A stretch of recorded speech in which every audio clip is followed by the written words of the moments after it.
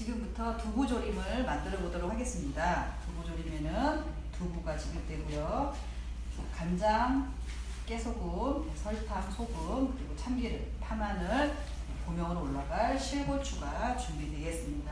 먼저 두부를 네, 물기를 제거를 하면서 소금에 절여야 되는데요. 두부는 3 곱하기 4.5cm, 두께는 0.8cm 정도 썰어서 준비를 하시면 됩니다. 그래서 4.5 정도, 길이에 3cm 이렇게 0.8 정도로 썰어 주시고요. 두부조림의 개수는 8개를 제출을 하셔야 됩니다. 그래서 두부를 소금에 절이기 전에 바닥에다가 이렇게 키친타올을 깔고 절여주시면 물기를 제거를 할 수가 있겠죠. 그래서 이렇게 썰은 두부를 이렇게 깔아주시고요. 소금을 살짝 이렇게 뿌려주겠습니다. 양념을 준비를 하도록 하겠습니다.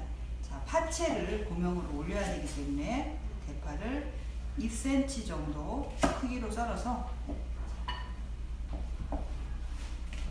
자, 파 안쪽 부분은 빼시고요. 이를 곱게 채 썰겠습니다. 이렇게 대파는 고명으로 올라갈 파를 먼저 이렇게 썰어 놓으시고 나머지를 다져서 양념으로 사용을 하시면 그래서 파 2cm 기로 채 썰어서 준비를 해주시고요. 자, 실고추도 대파 크기로 2cm 정도 크기로 이렇게 끊어서 준비를 해주시면 되겠습니다. 네, 두 개의 물기를 닦아서 팬에다가 노릇하게 지져보도록 하겠습니다. 이렇게 위에 부분도 이렇게 키친타올 이용해서 물기를 제거를 해주시고요. 이제 팬에다가 지져보도록 하겠습니다.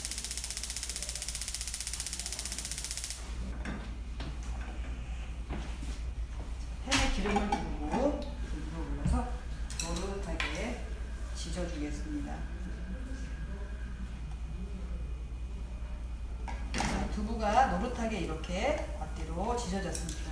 그러면 지진 두부를 접시에 담아 놓으시고요. 이제 두부 조림을 할 양념장을 만들어 보도록 하겠습니다. 간장을 먼저 넣고요. 설탕, 참기름, 깨소금, 그리고 다진 파, 다진 마늘, 그리고 후춧가루.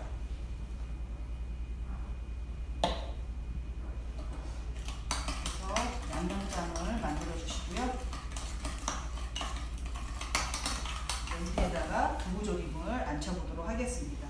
냄비 바닥에 두부를 이렇게 깔아주시고요. 두부에 양념장을 이렇게 껴얹어 주시고요.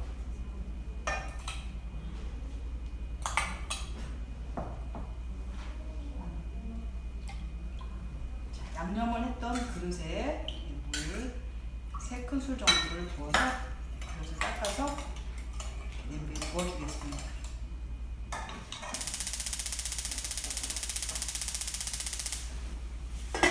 뚜껑을 닫아서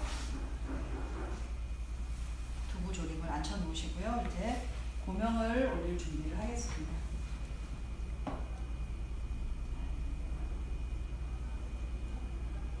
자, 이제 두부 조림이 거의 다 부러졌습니다. 그러면 이제 고명을 올려보도록 하겠습니다. 대파 채썬 거를 나란히 올려주시고요.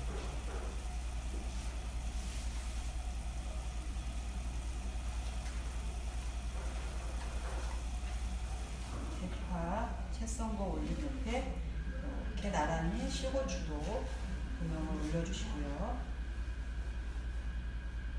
고명을 올린 다음에 뚜껑을 덮어서 고명을 올린 다음에 뚜껑을 덮어서 한 1분 정도 이렇게 놔두겠습니다. 그래야 대파가 고명으로 들어가기 때문에 대파가 숨이 죽어야 됩니다. 대파가 살아있는 상태처럼 이렇게 나가면 안 되기 때문에 잠깐 뜸을 좀 들여주겠습니다.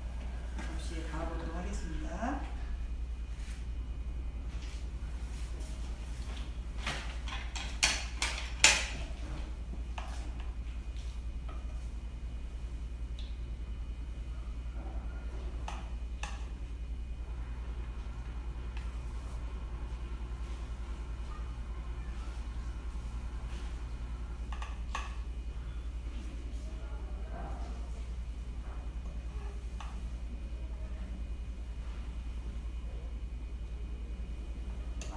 접시에다가 졸여진 두부조림을 담아서 촉촉해 보일 수 있도록 이렇게 국물을 좀 껴얹어서 이렇게 완성을 하시면 되겠습니다. 조림이기 때문에 국물이 좀 있어야 됩니다. 자, 이렇게 해서 두부조림이 완성되었습니다.